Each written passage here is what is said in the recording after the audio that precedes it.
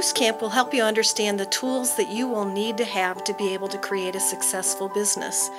Our Boost Camp faculty all come from the IAE's list and roster of who will be participating in our school.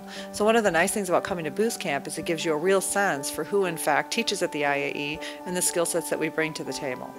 What the Institute for Arts Entrepreneurship offers is a way to actually train and teach and equip creative minds in a way that they truly understand and can absorb. Students from the IAE come from many different disciplines. They have learned their craft well but they don't know how to turn their craft into a sustainable business for themselves. What's so unique and timely about the IAE is the fact that this is a body of people that are committed to helping creative minds in their own terms, using their own language, using their own vernacular to actually grow as entrepreneurs.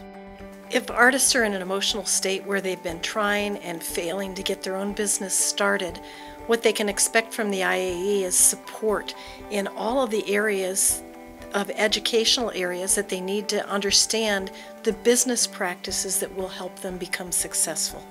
I'm really excited by the IAE because it's going to help train these young creatives in a way that they need.